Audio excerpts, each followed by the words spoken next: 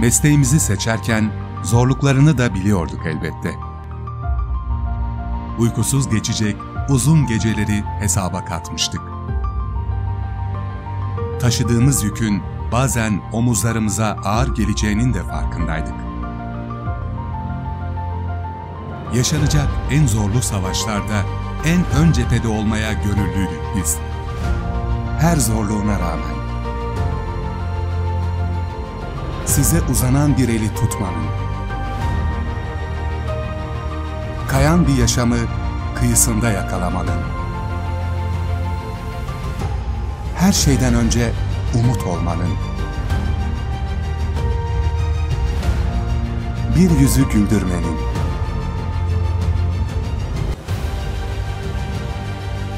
bir anneyi evladına kavuşturmaya köprü olmanın, vefalı bir kalbi hayat arkadaşıyla yeniden buluşturmanın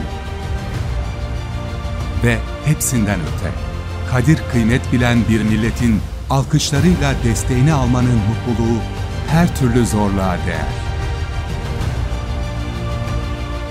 Özel Ümit Hastaneleri olarak bütün sağlık ekibimizle sizlere teşekkür ediyor ve sağlık çalışanlarına şiddete hayır diyoruz.